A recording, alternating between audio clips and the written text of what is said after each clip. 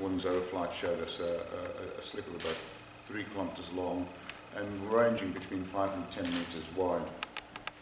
Our modelling indicates that uh, any potential stranding would uh, occur on, along the centre of Matakana Island and we have had some reports of minor strandings that have already been cleaned up.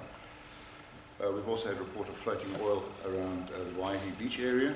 Uh, we've sent uh, assets up there to go and investigate and if necessary we've got a task force ready to go and clean that up if that is true.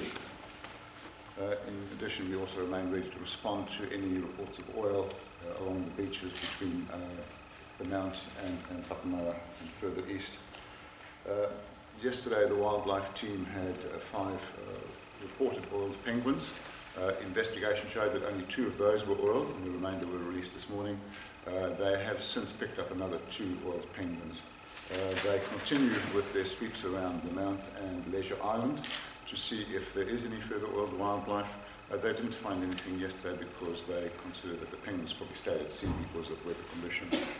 And again, we would urge the public to report any oil to the 0800 number so that we can send people out to go and clean those up.